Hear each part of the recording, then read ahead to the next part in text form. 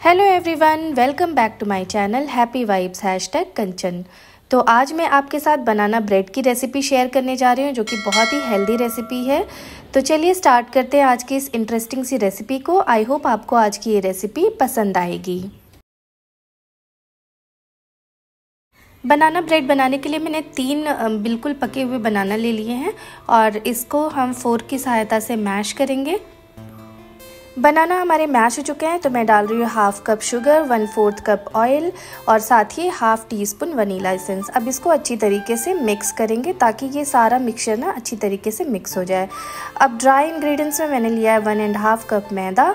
साथ ही मैं इसमें डालूँगी half teaspoon baking soda और one teaspoon baking powder इन सबको अच्छी तरीके से मिक्स करेंगे और थोड़ा सा सिनमन पाउडर आप डाल सकते हैं, ये ऑप्शनल है बट इसका टेस्ट अच्छा आता है। अब इसको अच्छी तरीके से छान लेने के बाद इसको मिक्स करेंगे और थोड़ा थोड़ा दूध डाल करके इसका एक अच्छा सा स्मूथ बैटर रेडी करेंगे।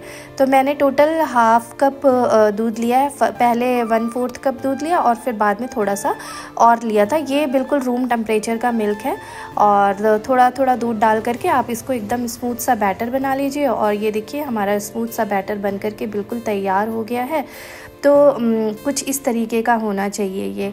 बहुत ज़्यादा लिक्विडी भी नहीं होना चाहिए और तो इसमें थोड़ा थोड़ा दूध डाल के एक स्मूथ सा बैटर बना लिया। अब मैंने टीन को ग्रीस कर लिया है तो ऑयल से आप ग्रीस करके इस पर थोड़ा बटर पेपर लगा सकते हैं। बटर पेपर नहीं लगाना तो आप मैदे की डस्टिंग करके भी टिन को रेडी कर सकते हैं। तो अब मैंने रेडी टिन में ये बैटर को पूर कर दिया और हाँ मैंने अवन में अवन को प्री हीट होने के लिए रख दिया था तो टेन मिनट का प्री हीट करने के लिए रखा है। अगर आप पैन में कर रहे हैं इसको बेक तो पैन को भी लगभग दस मिनट ढक करके स्लो फ्लेम पर हीट कर लें। तो ये देखिए मैंने बैटर को पूर कर दिया, इसको थोड़ा सा टैप करेंगे दो तीन बार ताकि जो एक्सेस एयर है ना, वो निकल जाए। तो मेरा प्री हीटेड अवन में मैंने इसको रख दिया। लगभग मैं इसको 35 मिनट के लिए बेक करूँगी। बेकिंग रॉड ऑन है और 180 डिग्री टेम्परेचर होना चाहिए। अगर आप पैन में बेक कर रहे हैं तो 40 टू 45 मिनट तक आपको बेक करना है। तो ये देखिए, हमारा बनाना ब्रेड बन करके बिल्कुल तैयार हो गया है और मैं टूथपिक से इसको एक बार चेक कर रही हूँ और ये देखिए, बिल्कुल क्लीन निकला है। टोटल 35 मिनट लगा है मुझे इसको बेक करने में।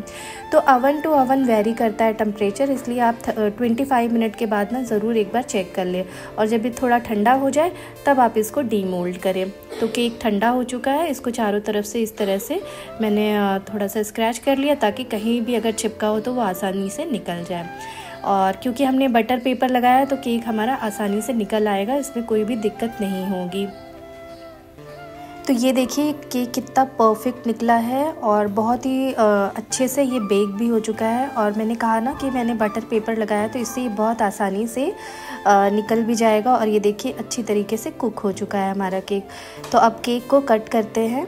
अगर केक आपका परफेक्टली बेक है तो केक बहुत ही अच्छा कट भी हो जाता है। बस इसको थोड़ा ठंडा करना बहुत ज़रूरी होता है क्योंकि गर्म केक टूटने का चांस ज़्यादा रहता है।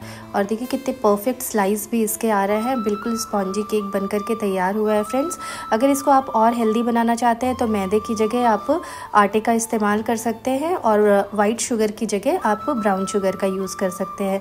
तो आई होप फ्रेंड्स आपको आज की ये रेसिपी पसंद आई। पसंद आई तो प्लीज़ लाइक करना ना भूलें और घर पर ट्राई करते हैं तो कॉमेंट में मुझे ज़रूर बताएँ। मैं मिलती हूँ आपसे नेक्स्ट वीडियो में, तब तक के लिए टेक केयर एंड बाय